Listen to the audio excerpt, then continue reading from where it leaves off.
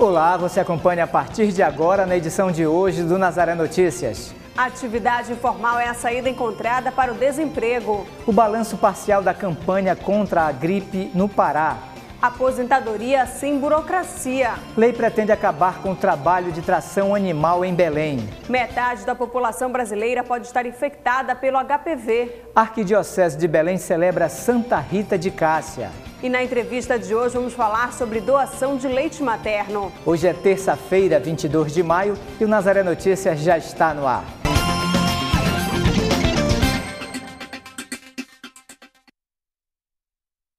Começamos o Nazaré Notícias de hoje falando de emprego formal. Até o mês de março, o desemprego atingiu quase 14 milhões de brasileiros. Uma alternativa encontrada para mudar esse quadro aqui em Belém foi a venda de produtos dentro dos coletivos. Há 12 anos eu deixei de ser doméstica para me trabalhar dentro do coletivo, para me criar meus filhos, que eu era mãe solteira e não me arrependo nem um dia do que fiz. Porque aqui dentro do coletivo, com vocês, eu aprendo todos os dias a ser um ser humano melhor. E todos os dias você me surpreende. É assim que Maria sustenta a sua família há mais de 10 anos. Eu comecei a vender bombons há 12 anos porque eu, como eu era doméstica, e não tinha com quem deixar meus filhos. Então, vender bombons foi a opção que eu tive de trabalhar e, ao mesmo tempo, cuidar dos meus filhos. Eu sempre falo isso para dentro dos coletivos para as pessoas. Um ofício que divide opiniões na capital. É porque a situação do, do, do cidadão que está vendendo lá, eles vêm dizer que são pessoas que tiveram problema com a polícia, que negócio todo, ninguém tem nada a ver com isso aí. Mas veja bem, aí, poxa, incomoda as pessoas, né? É uma história que não, não dá para a gente receber essa história, entendeu? Eu acho certo, porque é melhor do que estar tá roubando. Aí tá muito difícil emprego. Muito difícil mesmo. Eu acho, às vezes, eles um pouco abusados, intolerantes, uma vez que nós não somos obrigados a segurar, a pegar. Enfim, sabemos que, que está difícil para todo mundo a crise que, está, que estamos atravessando, mas é, chega a incomodar, porque sobe um, desce outro, sobe um, desce outro, sobe um, desce outro e incomoda. Ah, eu acho que eles estão fazendo o trabalho deles, né? De certa forma. É, são muitas vezes, não precisamos comprar tudo né, que aparece por lá, mas eu acho que não acho um problema. Quem abre a porta dos ônibus para vendedores vê a atividade com bons olhos. A gente vê que as pessoas elas precisam muito de uma oportunidade e no geral essa oportunidade ela não surge.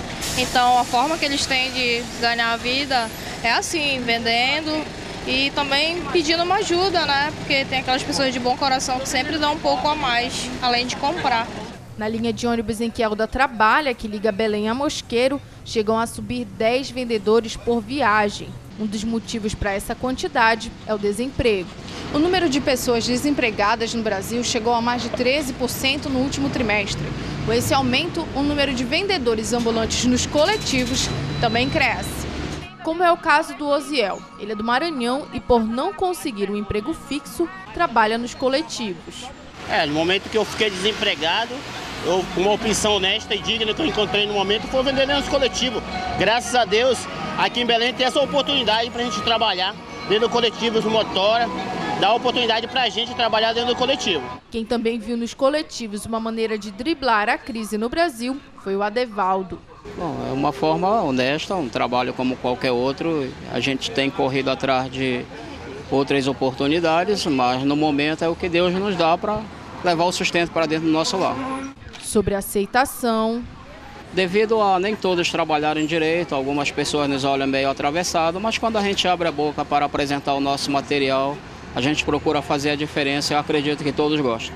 Nem Deus agradou a todos, Uns querem, outros não querem, mas graças a Deus, no momento, a sustentação da minha família é essa. A aceitação, o meu lado é bom, porque eu sou uma pessoa educada e eu estou sempre sorrindo e passar, eu passo uma alegria para as pessoas, uma felicidade, tanto que as pessoas às vezes comentam. E é gostoso, nunca fui maltratada nem por motorista nem por passageiro, porque nós como vendedor, nós temos também que respeitar o espaço das outras pessoas. Se tiver alguém no telefone, vamos ter a educação de falar baixo, independentemente de quem entra aqui, todos saem abençoados. Parece que tem mais vendedor do que ônibus, mas todos saem abençoados. Se uma pessoa conta uma história, independentemente dela ser verdadeira ou não, todo mundo sai abençoado. A Secretaria Municipal de Saúde de Belém divulgou esta semana o balanço parcial da campanha de vacinação contra a gripe. Segundo a secretaria, 27% dos grupos prioritários procuraram os postos de saúde da capital para se proteger contra a doença. O balanço parcial concluiu que apenas 27% das 342 mil pessoas dos grupos prioritários procuraram os postos de saúde da capital. A baixa procura identificada principalmente de crianças de seis meses a menores de 5 anos, o que corresponde a 14% do público-alvo, e dos professores, com 20% do público-alvo. Os idosos estão liderando a procura nas salas de vacina, que já registram 35% da meta alcançada. A vacina imuniza contra três tipos do vírus influenza: H1N1, H2N3 e B e deve ser tomada todos os anos para que seja eficaz. E segundo a SESMA, 50 salas estão disponibilizando a vacina contra a gripe em Belém de segunda a sexta-feira, de 8 da manhã às 5 da tarde. A campanha se encerra no próximo dia 1 de junho e não há prazos para prorrogação.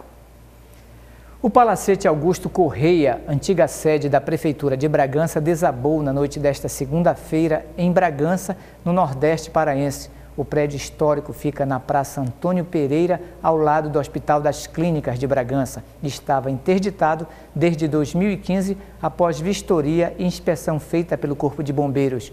Uma equipe do Demutran fez o isolamento da área na noite desta segunda-feira. Por meio da nota de nota publicada pela Prefeitura de Bragança, o órgão afirma que, em uma avaliação visual prévia, foram detectadas algumas fissuras na fachada do prédio e nenhuma fissura ou ameaça nas paredes laterais, não tendo problemas estruturais comprometedores. A partir desta semana, solicitar a aposentadoria por idade ficará menos burocrática. Agora, o contribuinte pode dar entrada no benefício pela internet ou pelo telefone. O serviço ficou disponível no site do INSS esta semana e promete melhorar o atendimento a quem pretende dar entrada à aposentadoria por idade e ao salário maternidade. A mudança ocorreu para diminuir o tempo de espera na concessão do benefício. Agora, a pessoa, ao acessar ou ligar para um 35, ela já está tendo o resultado na, imediato, na hora, concessão automática do pedido dela de aposentadoria, né? Uma medida que deve evitar situações como a da Maria. Ficou o resultado para me receber no dia 12 de fevereiro e até agora não me ligaram e não mandaram nenhuma resposta e eu vim saber a resposta.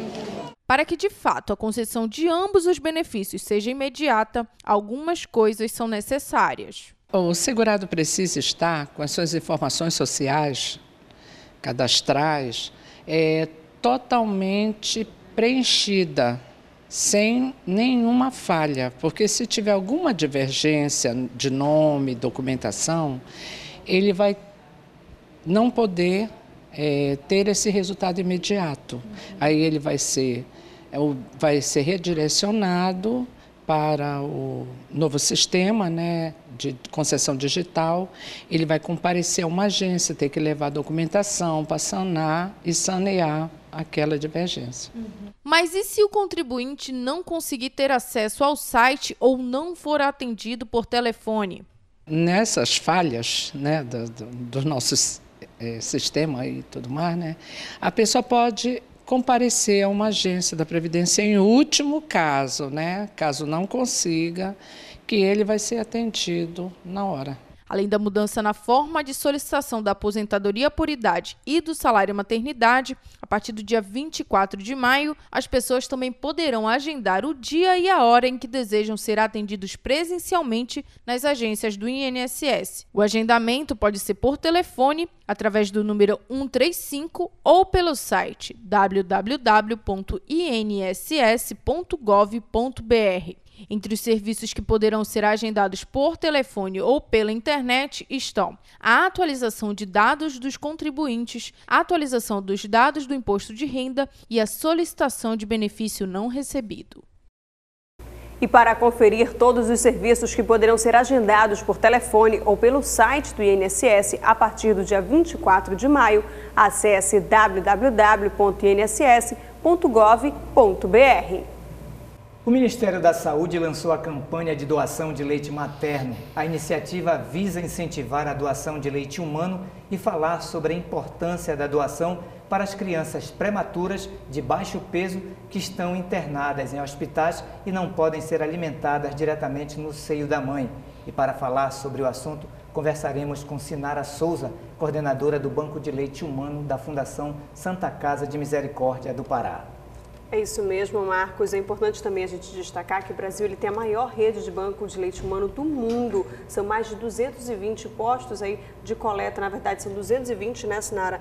Bancos de leite, bancos mais de, de 190 postos, de, postos coleta. de coleta. Ou seja, é toda uma mobilização. Qual a importância né, desse título para o Brasil e principalmente para as crianças que precisam desse leite humano? É, o banco de leite ele tem um alicerce de trabalho que é pautado em cima da amamentação.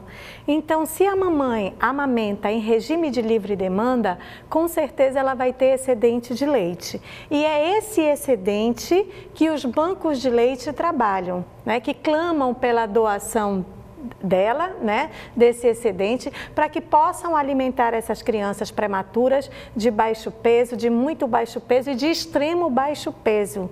Que hoje nós recebemos crianças com abaixo de mil gramas e essas crianças sobrevivem, né? Abaixo de 37 semanas, abaixo de 35, 36, e aí vocês imaginam. E os bancos de leite são a alternativa mais segura para alimentar essas crianças de baixo peso de alto risco. Elas precisam desenvolver, elas precisam crescer fora do útero materno. E quem vem contribuir com isso e com a redução é, da mortalidade e de doenças, né, nessa faixa etária é o leite humano, enquanto eles estão impossibilitados de mamar no seio de sua mãe. E falando de Santa Casa, quantas crianças estão nessa situação precisando de leite? Bem, nós temos um bom número de crianças, nós temos 160 leitos, 60 leitos não é, de UTIs, porém essas crianças são transferidas para a unidade de cuidados intermediários. Então, tem momentos que nós temos mais de 100 crianças prematuras que necessitam desse líquido ouro, né? desse leite, desse excedente que a mamãe compartilha doando a um banco de leite. E aí nós fazemos o trabalho de alimentar essas crianças de forma mais precoce para que elas possam ter um melhor desenvolvimento. E como é que funciona, assinar o trabalho do banco de leite? Bem, o banco de leite, ele trabalha com incentivo à amamentação e com Assim, essa amamentação também voltada para a doação.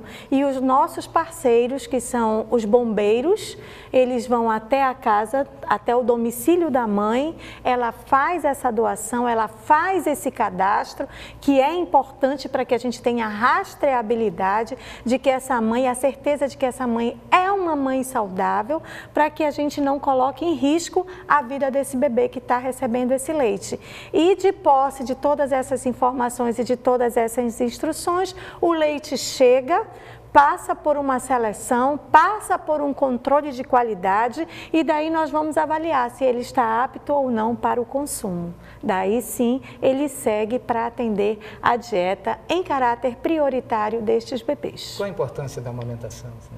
A importância da amamentação é assim, é que ela reduz o risco de morte, principalmente nessa faixa neonatal, fora as doenças como infecções, como alergias, como intolerâncias e outras mais. Então, dentre todas as estratégias pensadas para a saúde da criança, o aleitamento está ali no ranking é? E ele é natural, ele é prático, ele é saudável, ele é pronto da mãe para o bebê. Então esse bebê vai desenvolver, vai crescer, vai ganhar peso e vai ser um adulto saudável com certeza no futuro. E a campanha foi já lançada, né?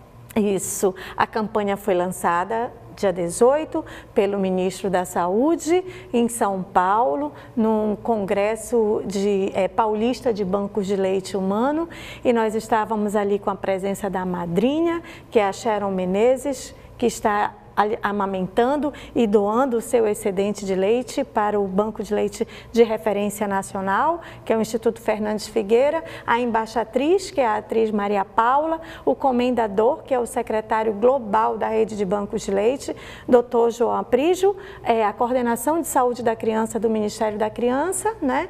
E toda o ministro e toda a sua comitiva ali apoiando a causa da amamentação, não só no Brasil, mas agora já se estende praticamente ao mundo inteiro. E para as mulheres que estão nessa fase aí, da reta final da gravidez, é importante falar também que a amamentação traz benefícios não somente para o bebê dela, mas para ela também, para toda essa recuperação pós-parto. Exatamente, a amamentação ela é importante para a mulher, para a criança, para a família, para o Estado e para a nação.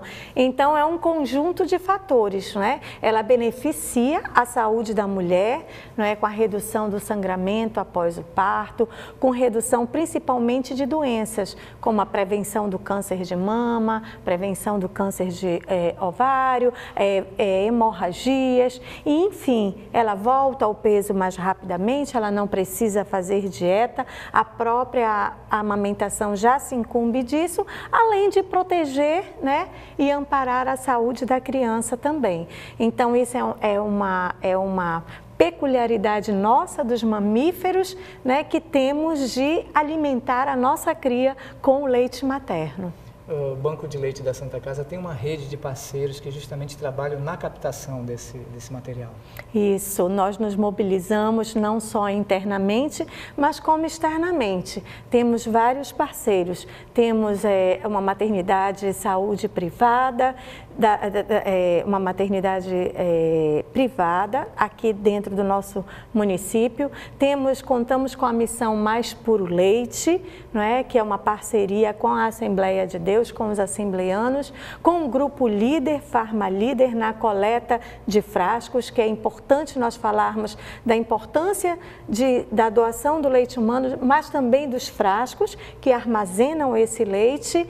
Contamos também com o apoio do do Papo Reto com o professor Sérgio Menezes, que se mobiliza é, sempre em prol das, da, da estimulação tanto da doação de frascos, como a indicação de doadoras e como também indica, é, doação de fraldas para essas mães e para o hospital também. Né? E também contamos com o apoio das instituições de ensino superior, com a comunidade acadêmica que está ouvindo mais falar a respeito da amamentação, do apoio, da importância e também da importância de indicar uma doadora, de indicar é, um frasco também, fazendo a campanha mesmo na família, né? É?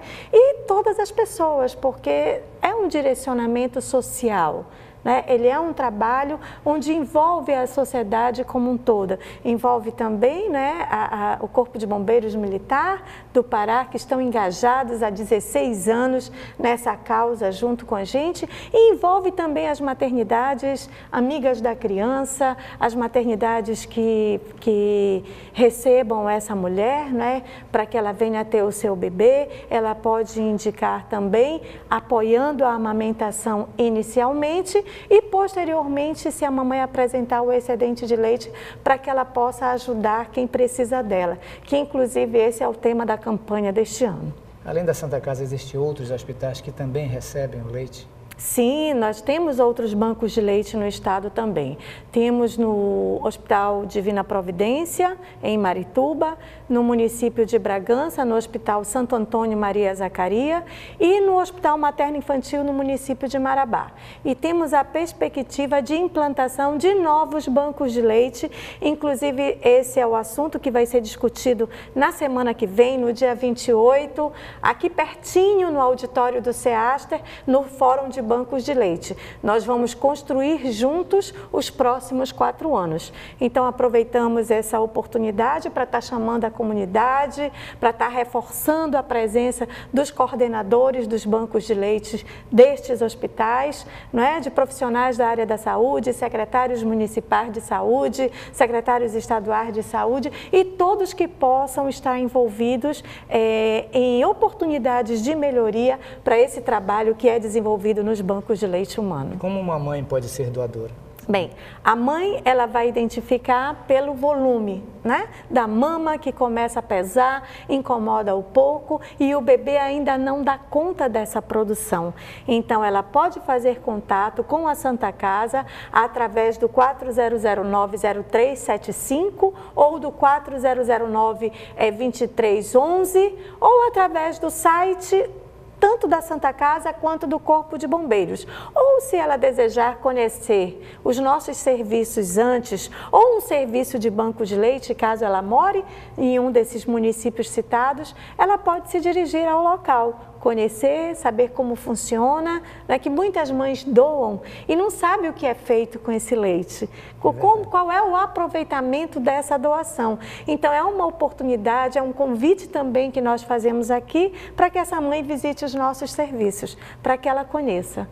Com certeza, Sinara, a gente agradece. Espera aí que as mães que estão assistindo a gente, que estão nesse processo de amamentação, sintam-se convidadas, né? A gente sabe que falar de saúde é sempre maravilhoso. Parabéns pela sua presença aqui, muito obrigada. Marcos, eu vou deixar agora o nosso WhatsApp. Se você quiser, ainda ficou com alguma dúvida, quiser enviar uma pergunta para a gente, é só mandar para o nosso WhatsApp, o número é 988023444. A gente encaminha para a Sinara e ela responde para você. Marcos. Obrigado, Sinara. Nós é que agradecemos. Dois meses após a regulamentação da utilização de cartões de débito ou crédito para o pagamento de multas de trânsito, o Departamento Nacional de Trânsito suspendeu essa portaria que estabelecia os procedimentos para os pagamentos eletrônicos. O texto da portaria anterior destacava a possibilidade de motoristas pagarem suas multas por infrações de trânsito utilizando cartões de débito ou crédito. A quitação dos débitos veiculares poderia ser feita à vista ou em parcelas sem ônus para os órgãos de trânsito. A portaria suspensa também autorizava os órgãos e as entidades que integram o Sistema Nacional de Trânsito a assinar acordos de parcerias técnico-operacionais com empresas aptas a implantar um sistema informatizado de gestão de arrecadação de multas de trânsito. A portaria atual suspende o pagamento de multas de trânsito por meio de cartões de crédito ou débito. Mais de 25 mil consumidores são aguardados a participarem do Dia da Liberdade de Impostos em Macapá. A campanha é nacional e acontecerá na capital, em um shopping na Zona Sul, nesta quinta-feira. Juliana Brito tem mais informações. Larissa, essa é a quarta edição da Liberdade de Imposto de Renda em Macapá. Nas edições anteriores, a ação foi realizada nos postos de gasolina. Esse ano será em um shopping na zona sul da capital amapaense. Os produtos serão etiquetados com e sem o desconto do dia, para que as pessoas se conscientizem sobre a taxa de juros cobradas a nível municipal, estadual e federal. Essa ação será realizada no dia 25 de maio. Juliana Brito para o Nazaré Notícias. E você pode participar da produção aqui do Nazaré Notícias. É só enviar para nós sugestões de entrevistas ou de reportagens para o nosso WhatsApp. O número é o 988023444 e aí você informa o seu nome e a sua cidade. E ajude os meios de comunicação da Arquidiocese de Belém, seja mais um e faça parte da família Nazaré. Ligue 40069211. E você acompanha ainda nesta edição Lei pretende acabar com o trabalho de tração animal em Belém. Metade da população brasileira pode estar infectada com HPV. A Arquidiocese de Belém celebra Santa Rita de Cássia. Voltamos com Nazaré Notícias e agora vamos falar sobre meio ambiente. Uma lei que pretende acabar com o trabalho de tração animal em Belém ainda está em tramitação. Essa lei quer erradicar este trabalho aqui na cidade.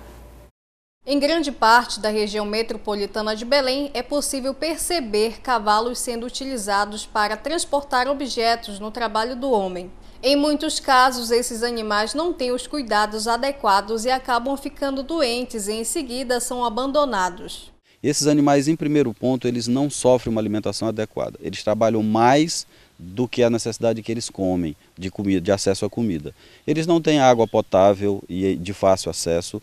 O carroceiro não tem um local para botar esses animais, para guardar esses animais, um abrigo pós-serviço. Ele, a, maior, a grande maioria deles abandonam esses animais às ruas quando termina o serviço e o coitado do cavalo, após trabalhar o dia todo, ainda tem que caminhar à procura de um capim de beira de estrada. Como forma de acabar de vez com os maus tratos a cavalos na cidade, um projeto de lei foi criado para extinguir o trabalho de tração animal.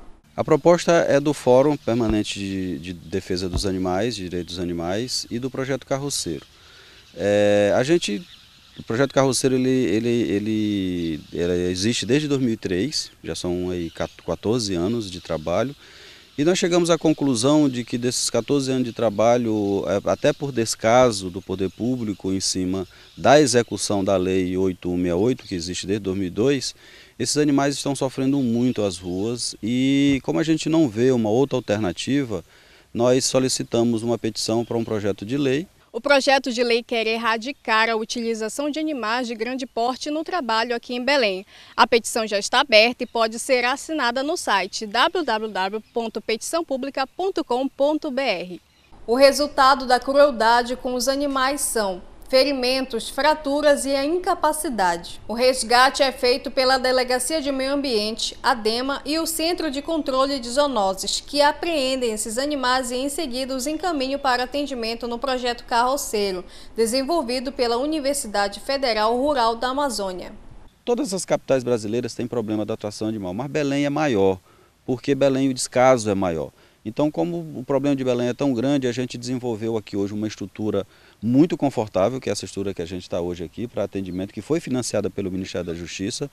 Foi, na época foi considerada como categoria nível 1 de prioridade nacional, essa, essa estrutura que está aqui. Esses animais hoje eles, eles vêm advindo do próprio carroceiro, são poucos, mas eles trazem os seus animais quando estão enfermos. Aqui eles são tratados, são reabilitados e quando o carroceiro traz é devolvido para ele. Para a lei ser sancionada é preciso de pelo menos 5 mil assinaturas. Então eu conclamo a todos que são contra o, o uso desses animais como escravos da carroça que assinem a petição para que a gente faça a proibição do serviço de tração. Uma coisa importante para se falar é que essa proibição ela não é abrupta. Essa proibição ela vai ter um tempo de adequação do serviço. Ou seja, o carroceiro ele vai ter alguns incentivos fiscais, como microcrédito e, e capacitação, e os cavalos eles vão ser reabilitados para serem doados para fiel depositários. E agora vamos falar do aumento dos combustíveis. Os caminhoneiros de diversas cidades do país protestaram contra o aumento dos combustíveis nas refinarias. Na semana passada foram anunciados cinco reajustes nos preços dos combustíveis em todo o Brasil. A última alta no combustível ocorreu na sexta-feira, dia 18, quando a Petrobras elevou os preços do diesel em 0,80% e os da gasolina em 1,34% nas refinarias. No início da manhã de hoje, havia atos em pelo menos sete estados brasileiros. Segundo a Petrobras, os aumentos podem ou não refletir para o consumidor final, dependendo de cada posto. Segundo a Agência Nacional do Petróleo, do Gás Natural e dos Biocombustíveis, o preço médio do diesel nas bombas já acumula alta de 8% neste ano. O valor está acima da inflação acumulada, que é de 0,92%, segundo o IBGE. Depois do encerramento das inscrições para o Exame Nacional do Ensino Médio, os estudantes têm até esta quarta-feira para pagar a guia de recolhimento da União. O valor da taxa é de R$ 82,00 e pode ser pago em agências bancárias e dos Correios, pela Internet Bank ou lotéricas. No caso dos concluintes do terceiro ano do ensino médio da rede pública, o sistema de inscrição se dará isenção automaticamente, mesmo que o candidato tenha se esquecido de solicitá-la antes. O Enem, além de avaliar o desempenho dos estudantes de escolas públicas e particulares do ensino médio, é uma ferramenta que ajuda na seleção de candidatos a ingressar no ensino superior e a ter acesso a programas do governo federal, como o Sistema de Seleção Unificada, o Programa Universidade para Todos e o Fundo de Financiamento Estudantil.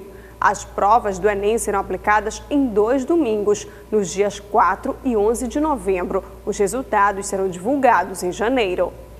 E agora você acompanha a previsão do tempo para esta quarta-feira em alguns municípios da Amazônia.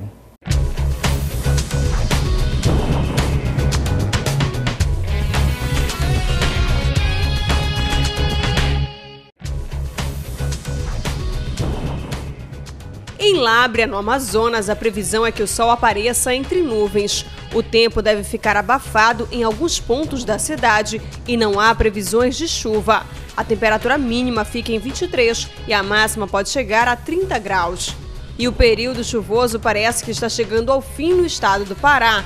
Em Paragominas, no nordeste do estado, o dia será de muito sol e não há previsões de chuva. Os termômetros marcam temperaturas que variam de 24 a 31 graus. Em Ji-Paraná, Rondônia, a quarta-feira será quente com sol entre nuvens. Também não deve chover na cidade. A temperatura mínima será de 20, com máxima de 30 graus.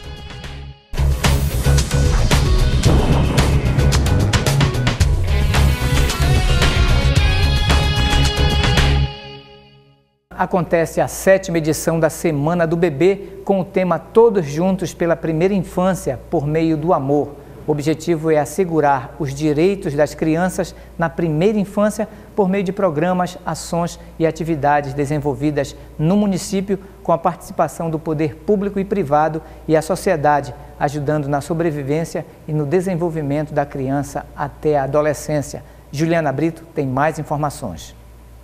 Marcos, a Semana do Bebê começou hoje em Belém e vai até o dia 25 de maio.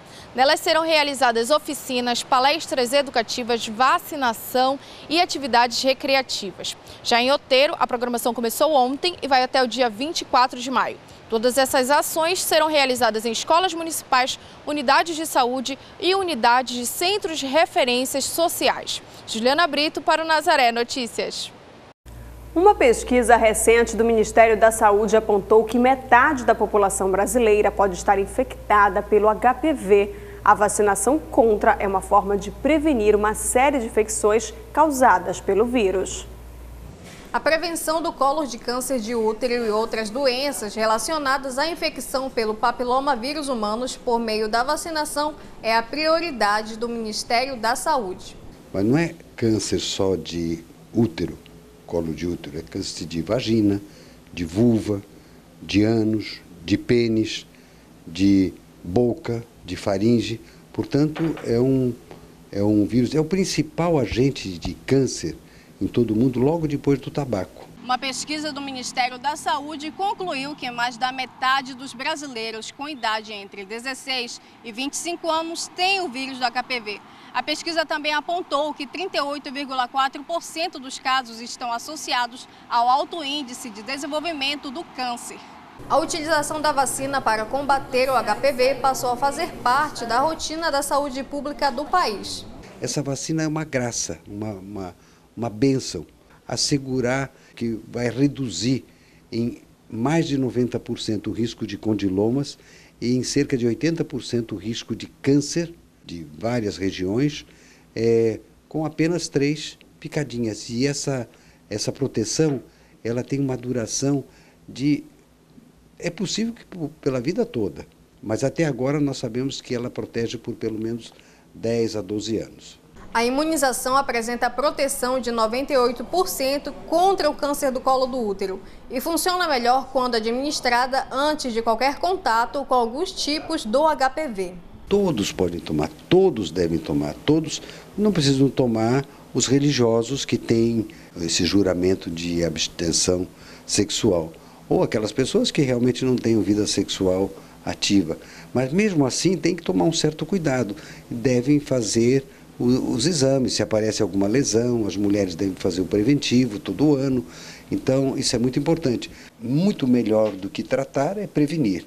E a melhor forma de prevenir são as vacinações. E agora nós vamos falar de manifestação. Após mais de 15 dias de protestos, os professores da rede municipal de ensino de Parauapebas encerraram a greve. O acordo foi firmado entre o Sintep e o governo do estado ficou estabelecido o reajuste salarial de 5%, mais 3% de reajuste na hora da atividade para 2018, 3% para 2019 e 2% para 2020, completando assim um terço da hora atividade, conforme a lei do piso do magistério. Os salários dos professores ficaram reajustados em 8% nos vencimentos e mais 75 reais no auxílio alimentação. O retroativo do reajuste salarial e do auxílio alimentação serão pagos de acordo com a data base de janeiro em cinco parcelas: junho, julho, agosto, setembro e outubro de 2018. Um terço das crianças mais pobres estão fora das creches brasileiras. É o que aponta dados da Pesquisa Nacional por Amostra de Domicílios Contínua. Existe uma correlação entre a renda das famílias e a oferta de vagas em creches no Brasil. O levantamento mostra que um terço das crianças mais pobres do Brasil estão fora das creches, enquanto que entre as crianças mais ricas, este problema só atinge 6% do total. A pesquisa foi divulgada esta semana pelo IBGE. Até o ano de 2024, segundo o Plano Nacional de Educação, o país precisa garantir 50% das crianças de 0 a 3 anos de idade estejam matriculadas em creches. No ano passado, segundo a pesquisa, essa taxa aumentou 2,3 pontos percentuais, com cerca de 210 mil novas matrículas e chegou a 32%, considerando a média nacional. Já considerando outras faixas etárias, o Brasil segue com duas metas descumpridas. Outra parte da meta 1 estipulou que em 2016 o país expandisse as matrículas das crianças de 4 a 5 anos na pré-escola. A medida é obrigatória, porém ainda não foi cumprida pelas redes municipais de ensino. Segundo a pesquisa do ano passado, 91% das crianças de 4 a 5 anos estavam matriculadas na escola. A taxa de atendimento, porém, varia conforme a região do país. Milhares de fiéis irão conhecer o cartaz oficial da maior festa religiosa do Brasil e os preparativos para o evento já começaram. O lançamento do cartaz do Sírio é um dos momentos mais especiais e será apresentado no próximo sábado, a partir das 17 horas. Na ocasião, haverá uma celebração eucarística na Basílica Santuário de Nazaré e, durante a programação, a imagem original da Virgem de Nazaré, encontrada pelo caboclo Plácido, irá ficar mais próxima dos fiéis. A Rede Nazaré Televisão transmite ao vivo a celebração. Hoje, 22 de maio, comemoramos Santa Rita de Cássia, a santa das causas impossíveis. Na paróquia de São José de Queluz, hoje pela manhã, uma procissão marcou o dia. É impossível olhar para as rosas ao pé de Cristo e não lembrar de Santa Rita de Cássia, um exemplo de fé e amor ao Pai. Uma das características da vida de Santa Rita foi a diversidade de estados de vida, de vocações. Mãe de família, viúva, religiosa, uma pessoa de fibra como personalidade humana e como vivência cristã. Só isso aqui já seria suficiente para nós olharmos para ela e termos a vontade, o desejo de sermos fiéis a Deus. E é claro, se ela é reconhecida como santa, nós olhamos para o seu exemplo e contamos também com a sua intercessão para que sejamos fiéis, cada um de nós, na própria vocação. A missa solene que marca o início de um dia festivo na paróquia São José de Queluz reuniu inúmeros devotos, todos inspirados pelo tema da festividade deste ano. Ajuda-nos a ser santo no jardim de Deus. A devoção é muito grande de Santa Rita de Cássia. Os devotos são é, aquelas, aquela devoção com as suas rosas, as, as, suas promessas. A nossa paróquia é São José de Queluz, mas como o nosso pároco falou, a inquilina ilustre é Santa Rita de Cássia. É uma devoção realmente que aquece o nosso coração e realmente contagia a todos.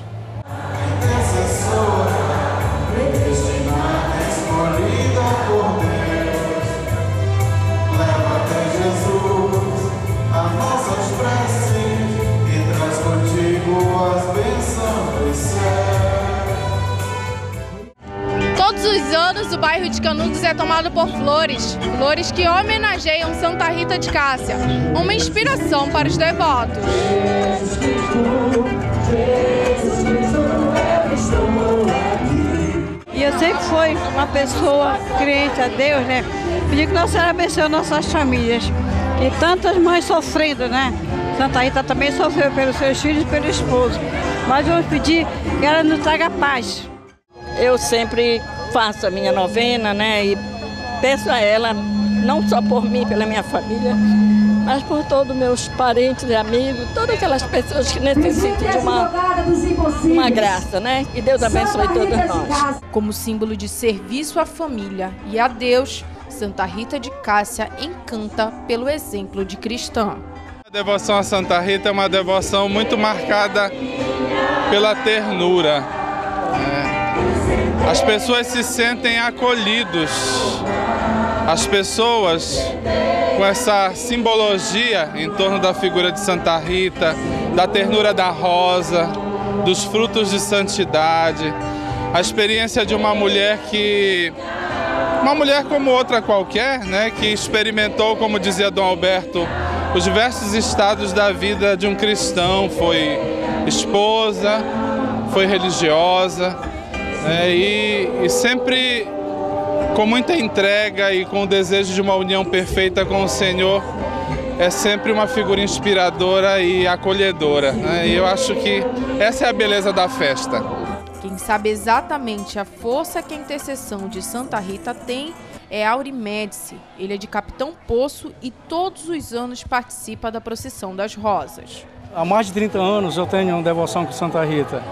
É, depois que eu consegui essa graça é, para minha irmã, né, que ela teve aneurisma cerebral e para Deus nada é impossível, né? E com Santa Rita eu consegui há 16 anos atrás. E há 15 anos eu trago é, várias pessoas de Capitão Poço também para compartilhar também junto comigo. Como eu consegui também, eu acredito também que as pessoas também conseguem também a mesma coisa que eu consigo, porque eu tenho muita fé, mas muita fé mesmo em Santa Rita de Cássia.